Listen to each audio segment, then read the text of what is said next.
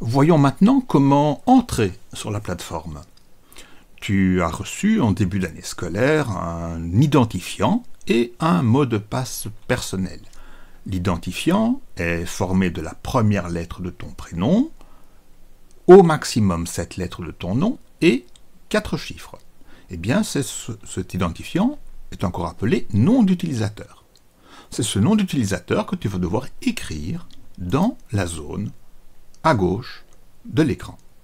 Nom d'utilisateur, imaginons que tu t'appelles donc euh, Jack Sparrow, eh bien ton nom d'utilisateur sera peut-être quelque chose comme J Sparrow, et puis les quatre chiffres de ton matricule à l'école, 1, 2, 3, 4 par exemple, et voilà mon nom d'utilisateur de Jack Sparrow. Puis, on demande de fournir le mot de passe. Le mot de passe t'a été donné de nouveau au début de l'année scolaire. Tu écrit là ce mot de passe. Attention, on ne va pas voir ce qui est écrit pour des raisons de sécurité. Donc, il faut absolument que tu connaisses ce mot de passe par cœur. Ce serait vraiment bien. Une fois que l'identifiant et le mot de passe ont été donnés, tu peux cliquer sur le bouton Connexion élève. À ce moment-là, on te propose éventuellement d'enregistrer l'identifiant et le mot de passe, ou pas.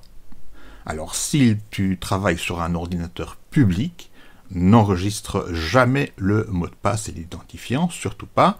Si tu travailles sur un ordinateur tout à fait privé auquel personne d'autre n'a accès, alors dans ce cas-là, tu peux éventuellement enregistrer les informations. Donc ici, je ne vais pas répondre à la question, et on voit qu'on s'est retrouvé sur une page où Tot, ton secrétaire privé, a déjà pris des notes à ta place. Il y a là un certain nombre d'annonces et nous allons en parler dans une prochaine vidéo. À bientôt